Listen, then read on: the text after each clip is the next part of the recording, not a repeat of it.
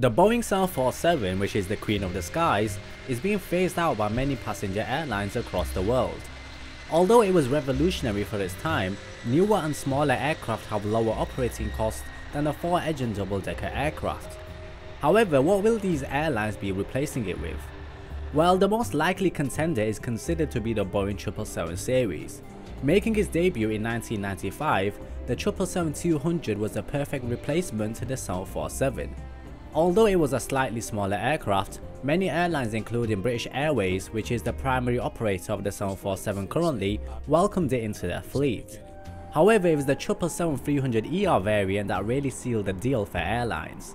It could carry between 314 and 451 passengers over 8,500 miles. It's very efficient per seat mile flown and it has a solid performance record.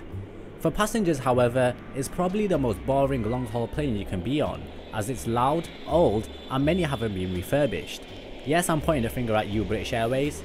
Now the 777X series is coming soon and that will bring a larger, more efficient aircraft to the table. It can fly further than the 747 and the A380 and it will enter into service in 2020. However, it's competing with the A350-1000 aircraft which we'll talk about in a bit. Now the Boeing 787 is also a good replacement, although it carries a maximum of just 330 passengers which is much less than the 747. Its superior fuel economy and operating costs means that airlines can operate the aircraft in high frequency, having multiple 787 flights instead of one 777 or the 747. Qantas did this as well as KLM. The only issue is that at big airports like London Heathrow where the 747 used to operate, landing and takeoff slots are very expensive. So it may be more cost effective to operate just one flight carrying more passengers than having multiple flights. Now in my opinion the best replacement would be the Airbus A350-1000.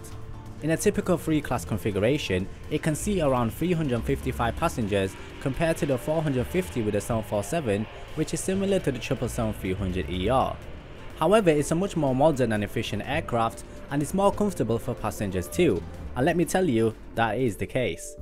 It also would be the longest range commercial airliner, meaning that Qantas is eyeing it for the Australia to Europe routes. Delta has already replaced the 747s with the 900 variant and Virgin Atlantic is expected to replace the 747s with the 1000. Now let me know what you think the 747 will be replaced with.